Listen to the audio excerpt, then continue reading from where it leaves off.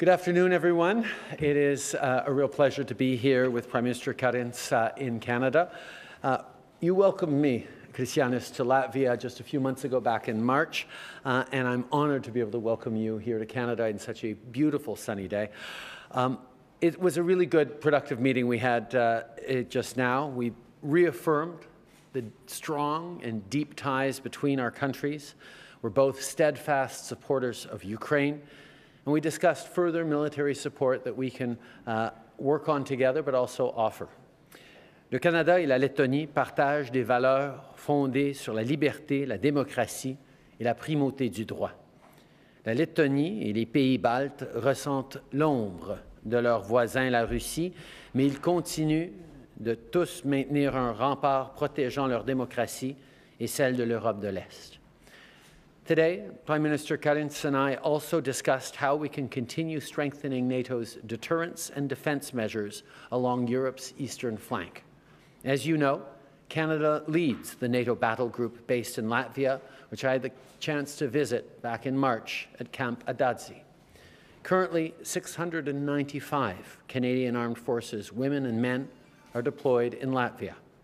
Today, I am very pleased to announce that we will be deploying a general, and six staff officers to NATO's Multinational Division North headquarters in Ādaži.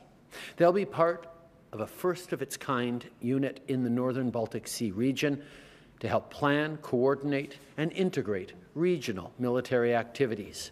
It'll serve as a continued and important part of our enhancements to NATO's defense and deterrence capabilities.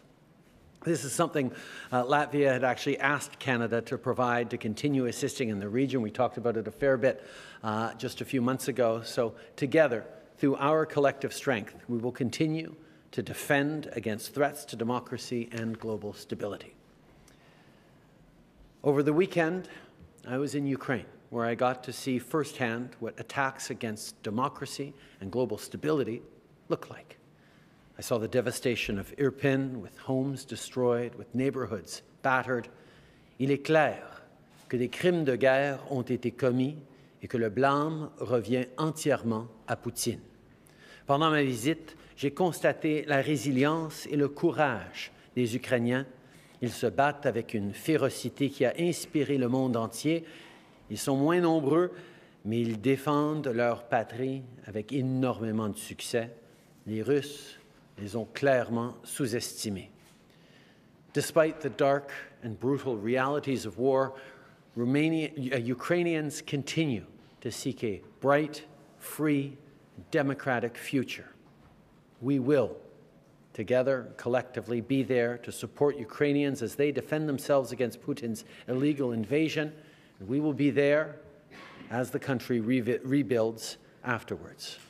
Krišjānis, Thank you so much for being here today. Thank you for everything you and your partners do to defend, uh, to defend Europe, to defend democracy. Ensemble, nos pays vont continuer de défendre nos valeurs communes. It's very good to see you here today, my friend. Uh, uh, thank you very much, uh, Justin. It's wonderful to be here in your wonderful country, in your wonderful capital, on such a warm, if not hot, uh, sunny day. Uh, your role as a Prime Minister and your role as, as, as the leader of Canada, the leadership role is very highly valued, uh, not only uh, in, in my country, throughout the Baltics, and in Europe as a whole. Uh, we speak about the basic values that we share freedom, democracy, and the rule of law. But what's important is that we're willing to back up uh, our support of these values with uh, strength and might if necessary. And the world, unfortunately, has changed that we see that we, it no longer is enough to simply speak about our way of life, but we have to be willing to invest uh, into uh, increasing our military capability to, to uh, actually defend uh, our way of life indeed. Uh, in Latvia, uh, as you know, we are currently investing 2.2% uh, of our GDP on defense. We've made a decision together as, as, as, our neighbors, the Estonians and Lithuanians, to move that in the next coming three years to 2.5%. So we are certainly investing in our own defense. But we also uh, fully understand and appreciate that our defense uh, uh, works as part of a collective defense, and Canada's leading role in the EFP in Latvia has been crucial. Now, the decision that you've taken today uh, of uh, uh, further strengthening the multinational division north, uh, which is currently based in Riga, is a very, very big decision indeed because in the Baltics, uh, what we see is the proportional response to Putin's war in Ukraine is, uh, and this is what we need to uh, discuss and, and, and, agree upon politically in Madrid uh, in the coming, in about uh, a month and a half, is uh, a robust NATO presence which has divisional capabilities to ensure that an attack from Russia would never occur, that it would uh, just uh, make uh, no sense at all. So the decision that uh, you have made is a step absolutely in the right direction and is very, very highly appreciated uh, indeed. Uh, so um, maybe sometimes people say, um, is it right or is it worth it to increase investments into defense? And uh, I am absolutely convinced that for us as freedom loving NATO partners, it's much, much cheaper to invest in a timely manner in our defense than having to deal with the uh, potential very negative con consequences of not having made that investment, which would be extremely, extremely ex expensive uh, indeed. So your decision and your commitment is, is spot on uh, and, and uh, very, very appreciated. Um, we both share uh, the commitment to supporting Ukraine. Uh, our country was uh, supplying arms to Ukraine uh, even before uh, February 24th. Uh, we understand that Ukrainians today are fighting and dying for the values that we all share freedom, democracy, and the rule of law. And we have to do everything to continue to support Ukraine because supporting Ukraine is essentially supporting ourselves and uh, supporting our uh, way of life and helping the Ukrainians. Um, as democracies, I think it's ex extremely important that we not be afraid to be strong. Uh, through combined strength, we can maintain our values and protect our freedom loving way of life. So, thank you once again, Justin, for the wonderful meeting. Uh, it's always a pleasure to look for ways how Canada and Latvia can strengthen our already very close and very good ties. Thank you very much. Thank you, Chris. Merci. Uh, nous avons maintenant 20 minutes pour des questions. We now have 20 minutes for uh, one question, one follow-up. We will start with Kevin as the first question. Hi, Kevin Gallagher, CTV National News. This question is for both Prime Ministers. Prime Minister Karins, you were on CTV's Power Play yesterday, and you talked about moving towards a more preventative posture in the Baltics uh, where Latvia is no longer a quote tripwire, but rather any Russian aggression is stopped before they cross into NATO territory. Can you expand on what that means? And I'd like to know you've spoken to Prime Minister Trudeau about this, and if you've asked Mr. Trudeau, perhaps you can tell us if you're going to support that type of initiative in Madrid. Uh, thank you very much for the question. Uh, so, the tripwire defense uh, is, is a, is, is a uh, approach that was taken five years ago.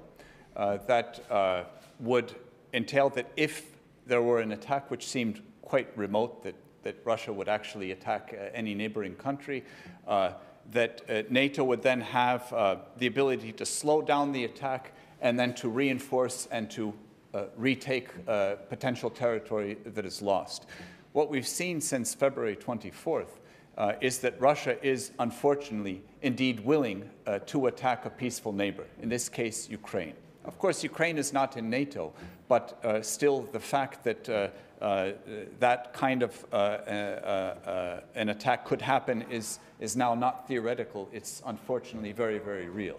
And what we are arguing, what we have also, I, I, I, we did discuss, is that the approach or the proper response of NATO is a political decision to, in a sense, up our capabilities to lower the probability of any such attack in the Baltics. And so when we speak of divisional capabilities. This entails a full range of, of uh, how should we say, tools uh, to be able to adequately defend ourselves, which is a little higher uh, a defense posture than we have today. Our country is investing into our own defense and will be increasing the number of soldiers and the, the types of equipment that they have. That's a given.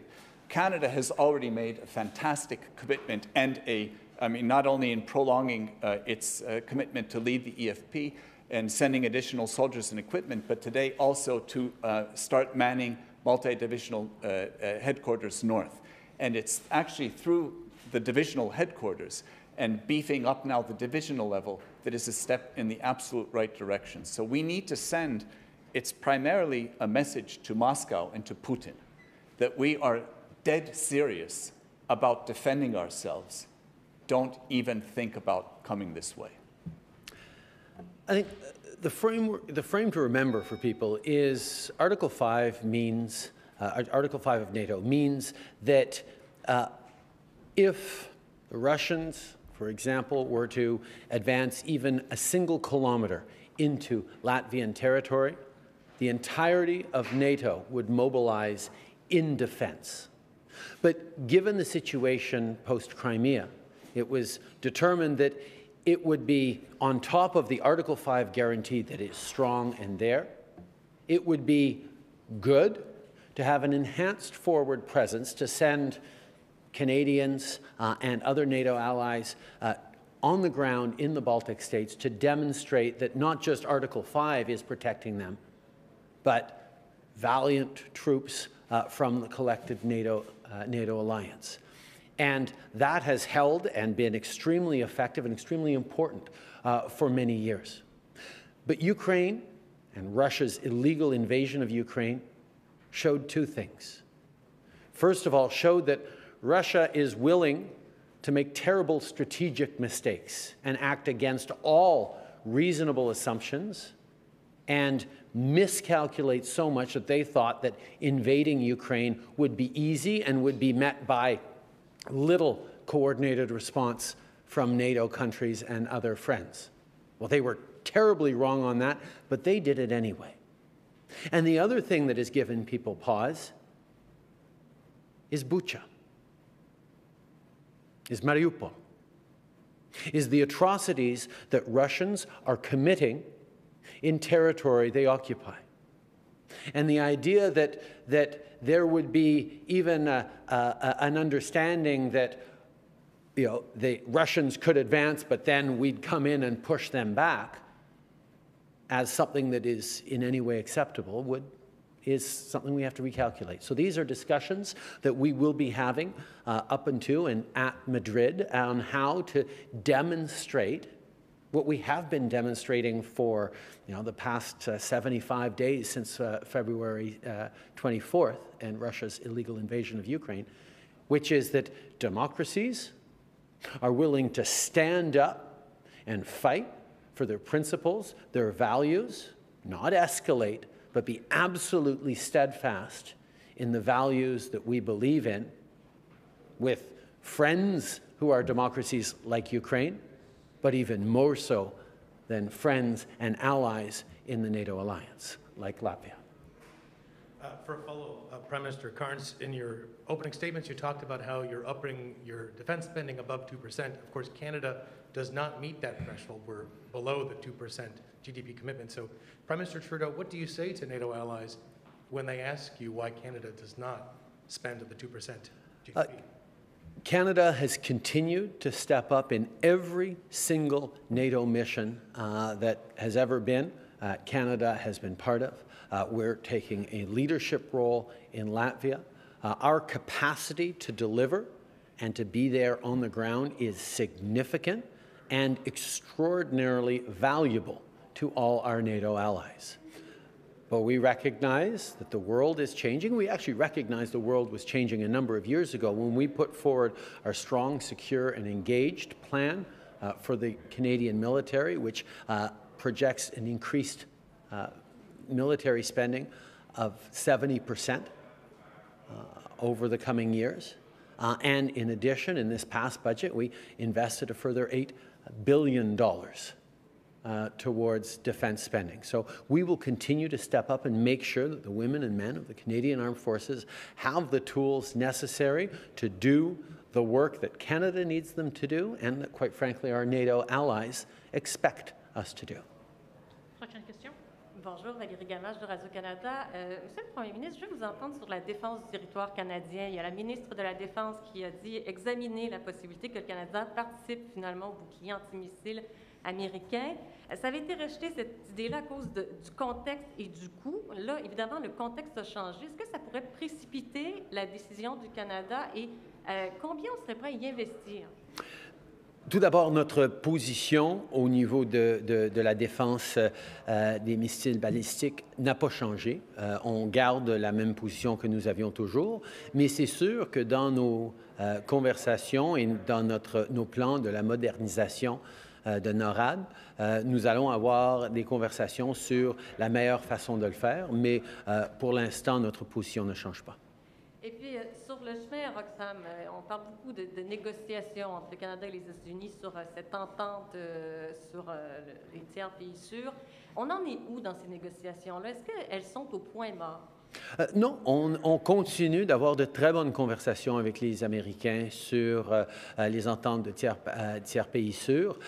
Évidemment, pour les Américains, leur contexte touche leurs deux frontières qui sont très différentes dans leur, impact et leurs défis, mais ils veulent essayer d'avoir un- une, certaine équivalence ou une approche raisonnable pour l'ensemble de leur territoire. Comprenons que c'est un peu euh, un défi pour eux, mais en même temps, les conversations avec le Canada vont très, très bien. On est en train de, euh, de regarder comment on peut régulariser euh, tous ces enjeux-là et assurer que notre système d'immigration, qui est toujours rigoureux, euh, fort, complet comme système, euh, puisse continuer d'être efficace, mais aussi basé sur la compassion et nos responsabilités internationales. Good afternoon, Prime Minister Marika Walsh with the Globe and Mail.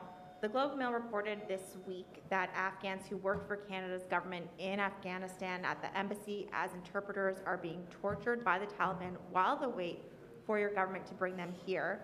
What is your response to this, and why isn't your government moving faster? We've seen with Ukraine that you can. The reports we're seeing are heartbreaking and horrific. The fact that uh, family members and individuals who uh, supported Canada in uh, our presence in Afghanistan over many years are specifically being targeted is uh, completely atrocious. We continue to be absolutely committed to getting as many people out of Afghanistan as possible, get them to safety in Canada. We've actually committed to over 40,000 uh, Afghan refugees uh, coming to Canada over the coming years, and we're working very, very hard on doing that. But as you bring up the comparison to Ukraine, people need to understand situations are very different from Syria to Ukraine to Afghanistan uh, to different places where uh, we are busy welcoming people. The challenge in Afghanistan is uh, we, are, we find it extraordinarily difficult to ensure the proper security checks are done within Afghanistan because of the Taliban.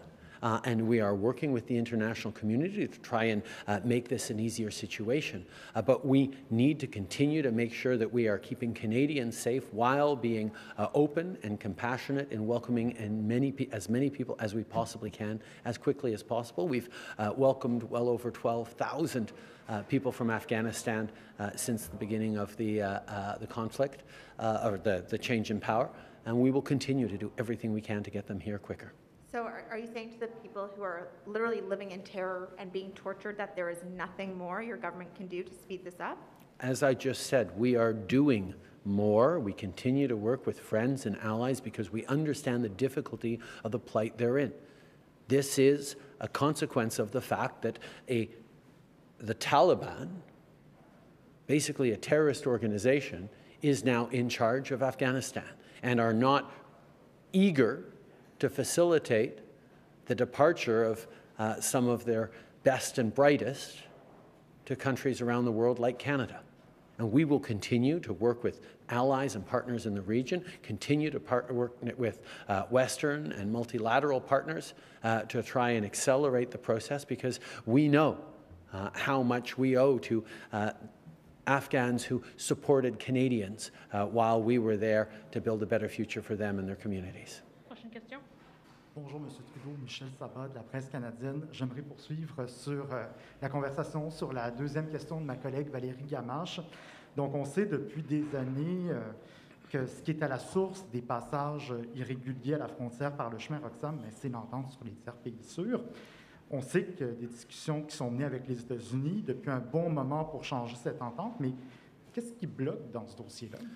Je pense que les gens doivent se souvenir de la situation et de, de, de c'est quoi cette réalité. Nous avons un système qui dit que si vous vous présentez à un poste frontalier comme la Colle ou ailleurs, et vous êtes déjà aux États-Unis avec une demande de, de réfugiés ou d'immigration, vous ne pouvez pas faire une demande de réfugiés au Canada parce que vous êtes dans un pays sûr comme les États-Unis qui ont un système d'immigration riche et, et- et robuste et reconnu par la communauté internationale comme étant adéquat. Et donc, des gens qui veulent venir au Canada essayent de- d'esquisser, de, passer autour des, euh, des postes frontaliers et passent, par exemple, à Roxham Road ou à Emerson. Et nous devons gérer cette situation de façon à comprendre que c'est des gens euh, qui cherchent à être des demandeurs d'asile, qui, une fois sur territoire canadien, ont le droit de réclamer un droit d'asile. Et nous devons, à cause de nos ententes internationales sur les réfugiés, à cause de nos principes et nos valeurs, nous devons traiter leurs demandes. Or, je comprends que euh, ce passage à, à Roxham Road représente l'endroit où la plupart des gens passent. Et donc, il y a du poids et des responsabilités additionnelles sur le Québec. C'est pour ça, d'ailleurs, qu'on a passé, qu'on a envoyé des centaines de millions de dollars au Québec pour aider avec les défis à ce niveau-là. Et on travaille euh, de, très bons euh, partenariats avec le Québec là-dessus. Mais en même temps, si on fermait le chemin Roxham, les gens passeraient ailleurs. On a une frontière énorme qu'on ne va pas commencer à armer ou mettre des clôtures dessus. Donc, nous nous devons de dire, OK, s'il y a des gens qui vont arriver de façon irrégulière, on peut au moins les contrôler, on peut au moins euh, faire des vérifications de sécurité, on peut au moins s'assurer qu'ils ne soient pas perdus et illégaux à l'intérieur du Canada. Donc, c'est une position basée sur la compassion. Je comprends que ça, préoccupe bien les gens et ça amène à une certaine polémique euh, pour, euh, certains partis politiques. Mais la réalité, c'est que nous sommes un pays où on suit des règles, où des gens qui arrivent ici, qui font euh, des déclarations de demandeurs d'asile, doivent avoir, ont le droit d'avoir une analyse de leur dossier. Et donc, c'est ce qu'on facilite. Et oui, on est là pour appuyer les coûts euh, extra que le Québec euh, entreprend, mais on est dans un, un- contexte où nous allons continuer d'être un pays ancré dans la compassion et dans la rigueur dans notre système d'immigration. Et c'est une solution, et c'est une situation euh, qu'on va continuer à gérer. Et donc, qu'est-ce qui achoppe concrètement? Est-ce que c'est parce que pour les États-Unis, ce n'est pas un dossier prioritaire? Bon, au contraire, comme j'ai dit, les États-Unis gèrent deux frontières extrêmement différentes et euh, leur préoccupation par rapport à une décision qu'ils pourraient prendre euh, aura des conséquences très différentes par rapport au Canada que par rapport au Mexique, pour être honnête. Et donc, ces négociations et ces conversations qui euh, sont très positives, qui s'avancent bien, euh, sont, on le comprend, de, délicates à un niveau politique pour les Américains. Prochaine question. Hi, Prime Minister Brian Platt with Bloomberg. Uh, what is your reaction to Pierre Poilievre promising to fire Tiff Macklem, and just in general, the way the Bank of Canada has been brought into the Conservative leadership race? Canada, and specifically Canada's banking system, and more specifically the Bank of Canada, is recognized as having one of the strongest, most stable, most reputable banking systems in the world, and Canada's central bank is highly respected around the world as being a strong institution. Um, the independence of the Bank of Canada from the government of the day is a really important principle that ensures the stability and the good reputation of Canada in international economic circuits, uh, uh, in, in, international economic circles. It is something that is a source of pride and a source of stability, not just for Canadians, uh, but for Canadian businesses, for Canadian investors and investments, uh, for investors coming into Canada to know that we have a robust and rigorous central bank that is independent from political machinations or interference. The fact that um, one of the leading candidates for the Conservative Party of Canada, the leader of the opposition, seems to profoundly either misunderstand that or not care about the facts at all is uh, somewhat disappointing in an era where we need more responsible leadership, not less. But that is, is, a decision, obviously, for members of the Conservative Party to weigh in on, not for me.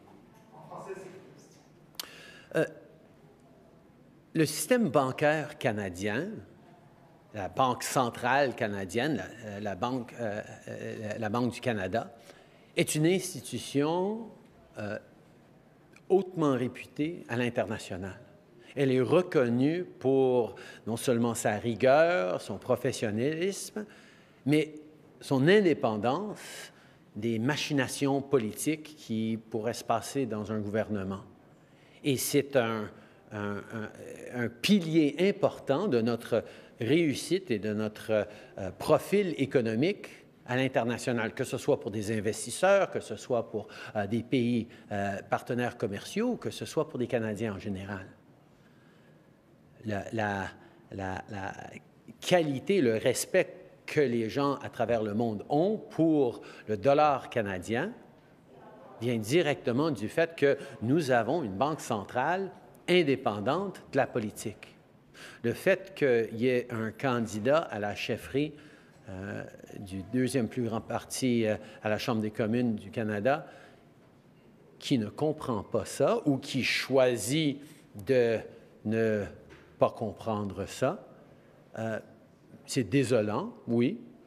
C'est un signe de manque de leadership responsable.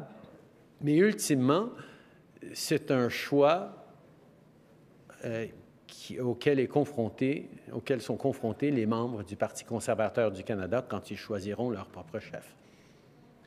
One reason the Bank of Canada is in the crosshairs right now is because inflation's at a three-decade high, and polls show this is the number one economic concern of Canadians right now. What's your own assessment of the Bank of Canada's role in this? Do you, and do you think your own, is this a problem for the Bank of Canada primarily to solve?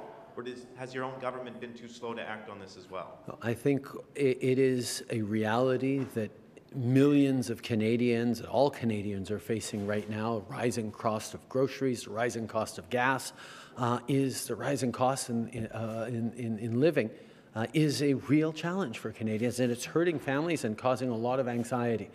We understand that it's something we all have to work on, and the government and the Bank of Canada each have uh, important roles to play in that. The Bank of Canada uh, has control over interest rates and monetary policy and ensures uh, that the decisions that are taken uh, are uh, going to lower inflation. On the government side, we have a responsibility to make sure we're doing things that don't further enhance inflation, but that also provide uh, respite and support for Canadians. And that's where, for example, the indexing of the Canada Child Benefit to the cost of living, which is what we did a few years ago, will ensure that those hundreds of dollars a month that show up in families' pockets, uh, in families' bank accounts uh, for support with their kids, will continue to match the rising price of groceries. Uh, that's where we move forward on cutting childcare fees in half and, uh, and uh, bringing them down to $10 a day uh, over the coming years across the country, because that is something that will save families thousands of dollars a year without necessarily contributing to inflation because uh, it actually leads to uh, more productivity and more people entering the workforce. So we have a responsibility to be there to support Canadians. The Bank of Canada has a responsibility uh, to uh, fight inflation. We do that independently of each other, but we can do it in a way uh, that does uh, result in better outcomes for Canadians. Bonjour Boris Poulou du Devoir. Désolé de revenir là-dessus, mais l'entente sur les tiers pays sûrs, je vous ai entendu dire deux choses défendre l'entente et dire que les négociations avec les États-Unis avancent. Donc, pouvez-vous être précis, Monsieur le Premier ministre, quelle est la position du Canada? Qu'est-ce qu'on demande aux États-Unis? On est en train euh, de euh, renégocier ou de, de, regarder à la modernisation ou des améliorations à l'entente sur les tiers pays sûrs. Euh, c'est une conversation qui continue de façon productive avec les Canadiens, avec les Américains. Ce qu'on est en train de défendre, c'est les principes euh, d'un système d'immigration de réfugiés basé sur la compassion et euh, la rigueur, et c'est ce qu'on va toujours faire. A des problèmes avec l'entente sur les tiers pays sûrs telle qu'elle est en ce moment au niveau de la compassion et tout ça? Ben, on, sait que euh, ce n'est pas tout à fait idéal euh, d'avoir des gens qui rentrent au Canada de façon irrégulière. Euh, idéalement, on pourrait assurer de faire d'assurer que les gens qui viennent au Canada le font par nos postes frontaliers officiels qui, qui, ont la capacité de gérer ces dossiers de la bonne façon. Euh, donc, c'est à ce niveau-là qu'on est en train de travailler avec les États-Unis. Euh, mais, entre-temps, on est là pour s'assurer que les principes de notre système d'immigration, que les vérifications de sécurité, que l'appui qu'on doit donner à tous ceux qui euh, font une demande de statut de réfugié soient là et c'est pour ça qu'on travaille avec le gouvernement du Québec, par exemple, et qu'on leur a envoyé des centaines de millions de dollars au fil des années pour euh, compenser pour cette, euh, arrivée de, réfugiés irréguliers qui arrivent principalement euh, au Québec par le chemin Roxham. Prime Minister Lee Berthiaume, Canadian Press. I wanted to go back to Latvia. Um, the uh, Prime Minister Karins is here. Um, and the Baltic states are currently asking um, NATO to both ex significantly expand NATO's military presence in the Baltics, but also make it permanent. Will you support, will Canada support that at the Madrid summit? Uh, this is uh, a conversation we had earlier. We recognize that the context has changed.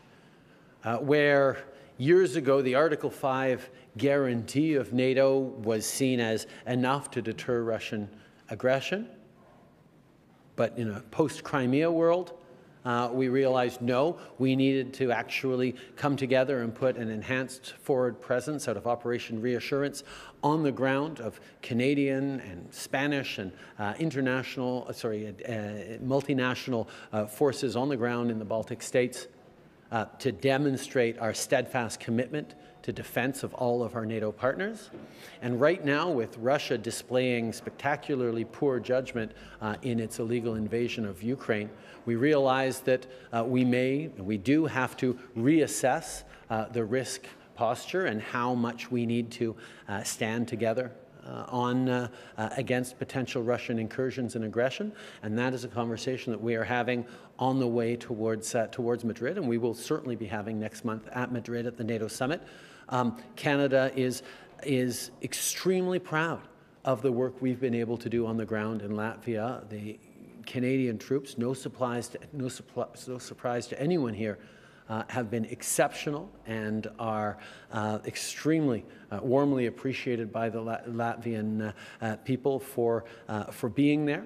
And we will always look to be able to do more, but we will do it in the context of rigorous NATO, NATO discussions. Mm. Chris, you want to say a few words? Uh, no, I, I, I can uh, add to that that uh, what's mostly important, it's not, in, in, militarily speaking, it's not in terms of necessarily the number of soldiers, but the capabilities involved in the forward presence. So this is what uh, needs to be um, uh, reassessed and what needs to be uh, updated given the current circumstances. And what's extremely important is that we, as uh, democratic countries, as NATO, send a very, very clear signal to Moscow and to Putin so that there could be no room for a misunderstanding or a false assumption that something would indeed be easy. And this is what uh, is important and what we've been discussing. And I wanted to ask about uh, abortion. Uh, yesterday, Minister Ien uh, said that you're keeping all of your options on the table with regards to protecting the ability uh, to obtain an abortion. Some have raised concerns that legislation could, in fact, have the opposite effect in some respects. And I'm wondering, as you're considering whether to legislate or not, what are the factors that you're currently taking into consideration? Obviously, um, the primary factor we take into consideration is every woman in Canada should have a full access to legal, safe abortion services uh, and reproductive health services wherever she is in the country. Um, and that these gains, that we have that now, that right now for everyone in the country, not be rolled back by future governments or uh, future decisions. The best way to do that, as you've pointed out, there are discussions. Well, maybe it's legislation, maybe it's not legislation, maybe it's leaving it in the hands of the Canadian Medical Association that has ensured uh, governance over, over these procedures for a long time, whereas a government like ours has continued to as well make real investments and uh, hold uh, provincial health systems to account where they haven't been delivering uh, access proper access to people, uh, to, to women across the country. So there's lots to do. There's lots to continue to do that we have been doing. And I think this is a moment where the threat and the potential of uh, an overturning of Roe versus Wade in the United States has women um, in Canada and indeed around the world very worried that there is going to be a rolling back of significant gains that they have made, that we have all made in women's rights. Uh, so yes, people are asking a lot of questions about it. Uh, people are very concerned about it, and I am uh, pleased to be able to repeat once again that our government is unequivocal that women have the freedom to choose, and we will uh, do everything we can to ensure that that's not a freedom that can be rolled back by any future government. Last question afternoon. Prime Minister Karins, uh, my question, first question is for you. Uh, today, your country's parliament approved the removal of a Soviet war monument in Riga. Uh, and I know that your country has probably the largest Russian population, ethnic Russian population in NATO. Could you just tell us a bit about how the Ukraine war has affected unity in your country, how it's affected your Russian population, and, and what it's brought to, to Latvia? Uh, uh, thank you very much for the question. Uh, so, the Ukraine war has changed not only everything in the world, also the situation in our own country. Uh, we have uh, a legacy of many Russian speakers in our country uh, from the 1970s and 1980s in the process of, of being occupied. We're also in the, being Russified, and uh, about 700,000 Russian migrants uh, were moved, uh, Russian-speaking migrants were moved to Latvia in that time. Um, since regaining independence, the, the, the, the proportion of, of Latvian speakers has, has changed and the entire situation in our country has changed. But we still have a minority of Russian speakers whose families came, whether from Russia or Ukraine or Belarus or Kazakhstan or, or Azerbaijan, I mean, from all over the former Soviet Union, who, until the war started, on, on the whole, had very sympathetic views towards Putin and the Kremlin as a, as a result of history, uh, family ties, uh, traditions, etc.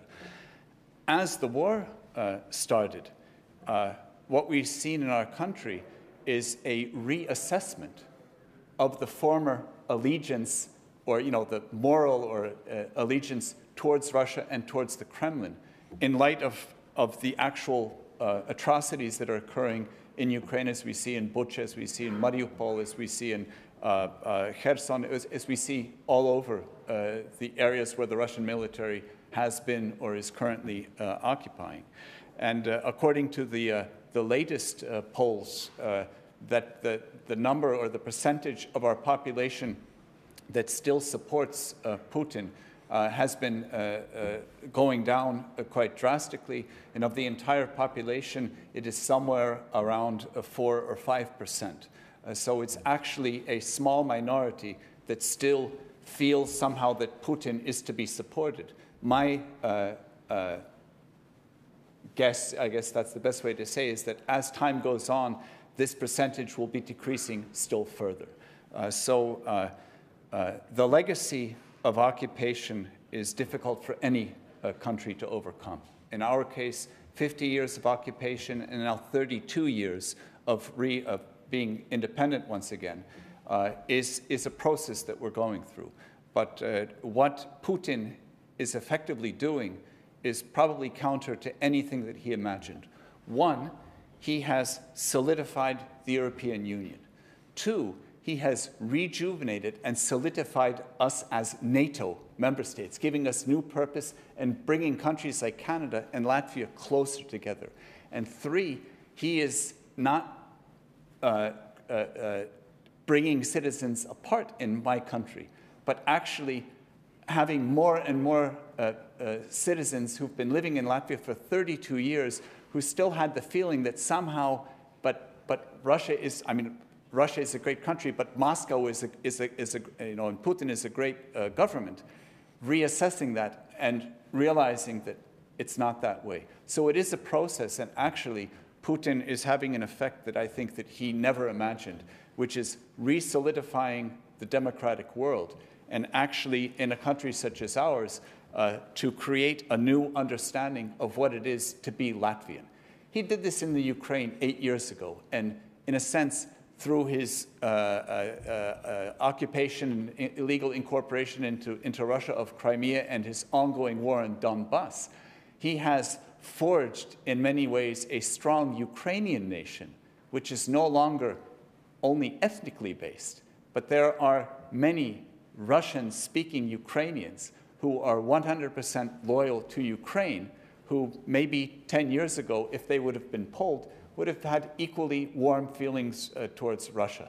So uh, this is one of the uh, unexpected uh, effects of the war. Thank you very much.